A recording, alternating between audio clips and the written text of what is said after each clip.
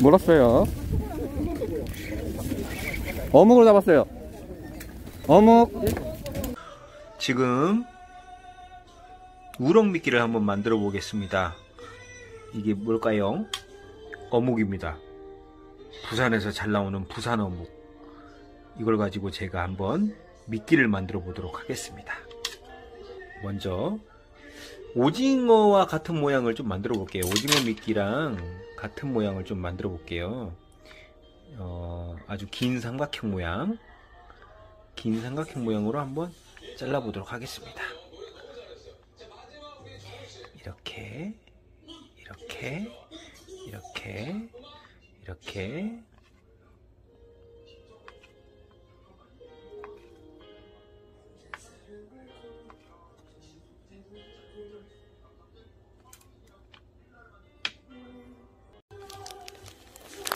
자 이렇게 어, 오징어 미끼 오징어 미끼 모양으로 자른 어묵에다가 이렇게 색소를 붓겠습니다.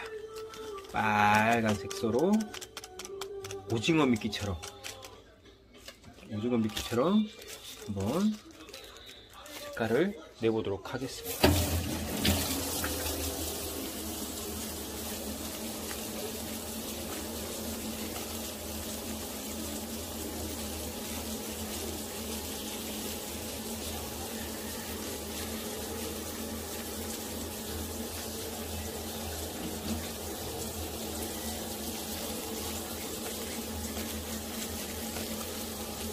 물을 물을 좀 넣어야 될 것 같아요. 물을 물러서 이렇게 예쁜 빨간 오징어로 빨간 오징어? 어, 빨간 어묵으로 만든 이거 고추장 넣으면 안 됩니다.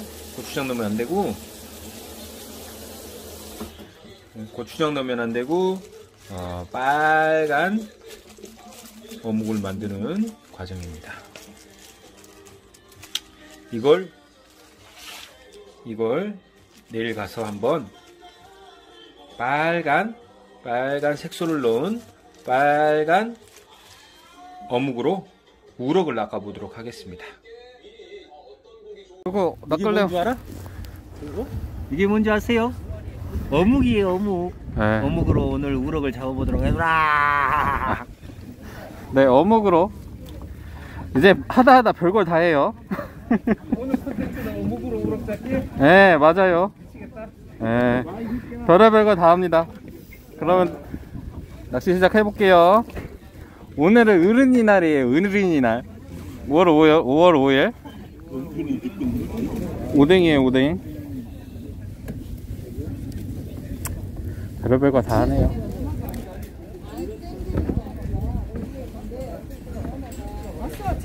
때려 때리라고 가모